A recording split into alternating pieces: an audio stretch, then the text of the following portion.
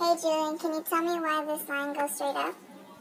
As time goes by, it's accelerating, which is called increasing velocity. But then why does it stop going up and go straight? That's because velocity isn't increasing anymore, and it's at a constant velocity. Oh,